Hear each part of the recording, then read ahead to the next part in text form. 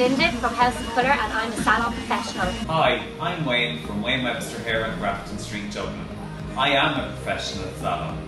I'm Charlotte Stewart from the Academy Barber and I'm a salon professional. My name is David Campbell. I'm the president of the Irish Hairdressing Federation and the owner of the House of Colour Salon Group. I'd like the industry to stand together to support the I'm a Professional campaign to stamp out black market hairdressing in Ireland. It's up to us to ensure the future of our industry is fantastic for all of our young trainees coming through. It's up to us to create an industry that inspires people to join and have fantastic jobs with a brilliant future. Please stamp out black market hairdressing and support the I'm a Professional campaign.